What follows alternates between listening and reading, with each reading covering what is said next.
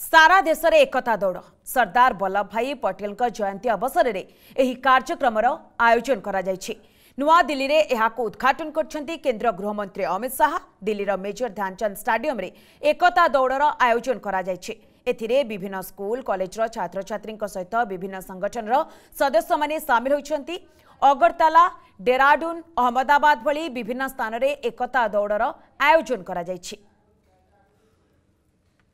एक, गुलदस्ता एक, राज्य एक उत्सव के रूप में मनाना, मनाने का निर्णय किया है। वो 31 अक्टूबर की एकता दौड़ को, हम 29 तारीख को आज धनतेरस के पवित्र दिन पर आयोजित कर रहे हैं। 31 अक्टूबर 2015 से देश के प्रधानमंत्री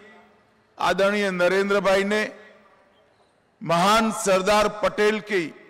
याद में देश की एकता और अखंडितता के लिए, पूरे देश को संकल्पित करने के लिए एकता दौड़ का आयोजन करने का फैसला किया। और तब से लेकर आज तक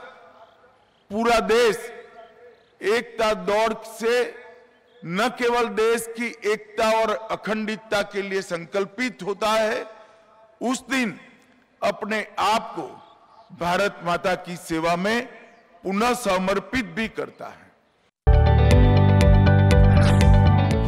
जदि आपंक आम भिडी भल लगा तेब आम चैनल को लाइक, शेयर और सब्सक्राइब करने को जमा भी भूलु नहीं।